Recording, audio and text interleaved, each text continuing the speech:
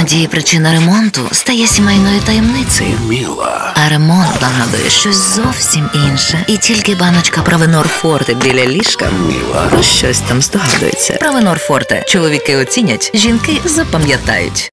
Це дуже небезпечно, заявив американський президент Джо Байден, коментуючи дані про розміщення солдатів КНДР на території Росії. Перед цим генсек НАТО Марк Рютте підтвердив їх відправку до Російської Федерації та розміщення північнокорейських підрозділів у Курській області, зазначивши, що військова співпраця між Росією та Північною Кореєю поглиблюється та становить загрозу і для євроатлантичної безпеки, і для безпеки в індо-тихоокеанському регіоні.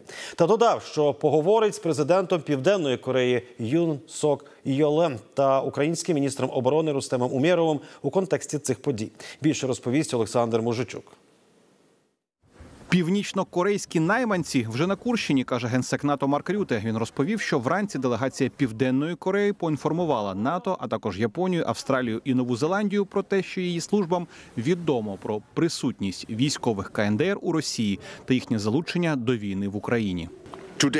Сьогодні я можу підтвердити, що військові з КНДР були відправлені в Росію, і північно-корейські підрозділи задіяні у Курській області. Це значна ескалація. Залучення КНДР у протиправну війну Росії. Це ще одне порушення резолюції Ради безпеки ООН. По-третє, це небезпечне розширення війни Росією. За словами генсека НАТО, Пхеньян уже поставив Росії мільйони одиниць боєприпасів та балістичних ракет, які підживлюють великий конфлікт у самому центрі Європи та підривають мир і безпеку в усьому світі. А в обмін на це Путін надає північній Кореї військові технології та іншу підтримку для обходу міжнародних санкцій.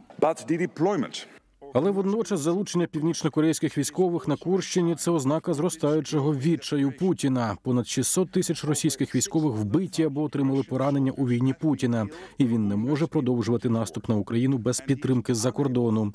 Це тому, що українці борються із мужністю, стійкістю та винахідливістю. Союзники у НАТО продовжать підтримувати вільну і незалежну Україну, тому що безпека України це наша безпека. Головне управління розвідки України днями перехопило розмову російських офіцерів, з якої стало відомо, що північно-корейських найманців росіяни везуть на фронт вантажівками з цивільними номерами. Трасса Курск-Воронеж, Курск-Воронеж. На одном из каких-то пост БРки нет, нет там возбудилась военная полиция. Что делать с ним такое? Сейчас, погоди, мне уже зампот- зампотеху я написал, зампотеху написал, что там уже решили вопрос. А, все, твой, да? Да, вопрос решили, он помогает БМПшникам корейцев перевозить. В свою чергу представниця Пентагону Сабріна Сінг повідомила, що за оцінкою США Північна Корея відправила близько 10 тисяч військових до Росії для навчань та участі в бойових діях проти України.